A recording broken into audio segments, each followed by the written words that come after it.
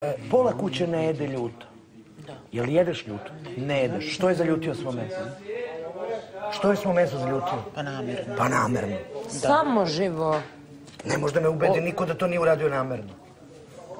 Aj sad ga I jedi on je sam. nekom zanimljiv što radi spačke po kući. ono. I. Sad ga jedi sam, ja ga jest neću sigurno. Šta si ti zanimljiv, brate mili? Šutiš ko da jezik nema, nemaš. ba- ove, ali ove paprike nema. Ma da ja. Sve okreto, sve ono mesto izma, izmazano Smiješno. Ljutom papriku. Ko Gorane, ti to iz, nama za ljutu papriku. Ne, kaže, samo malo. Sad ga jedi sam. Ja nisam gladan. Bože? Bože. Ne Samo nek mi se vrati? Ne danas. Znaš koliko ću ga izvrijeđat Jel jede danas? Baš Ne danas. Samo Pa Koga glumiš ti? je da me gleda, ću šta hoćeš ti od mene? Koga glumiš? Znaš da više od pola kuće ne jede ljuto. Koji je ono večer kad je zabo? Pa danas tu sam maciki. Baš zato što mi je rođendan. Danas